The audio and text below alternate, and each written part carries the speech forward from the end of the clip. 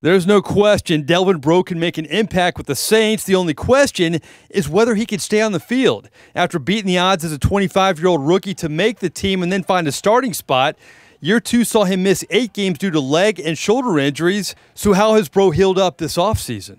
Man, I, am I'm, I'm there, man. Um, I, feel good, man. I feel a big difference, you know, e- even before my rookie year, man. So um, I, I, I think it's going to be amazing. Breaux's absence was a big reason the Saints once again led the NFL in most yards allowed and most passing yards surrendered. Breaux knows his return would help put a dent in both of those numbers for a beleaguered unit, which is tired of being a broken record. Not getting our heads down, man. Um, we always have to move on to the next play. We, we have to play aggressive.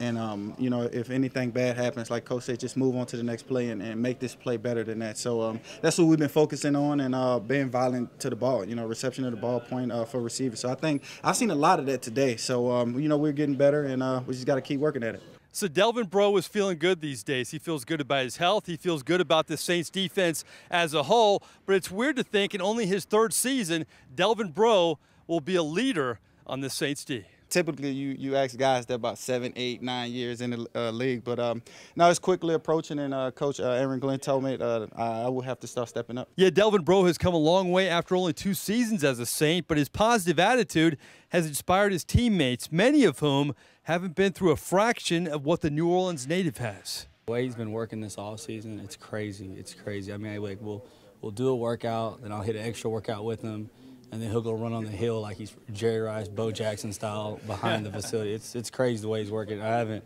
I mean, it's unmatched. It's up there with like the way AP works. Um, um, and I'm excited for him. He's in great shape.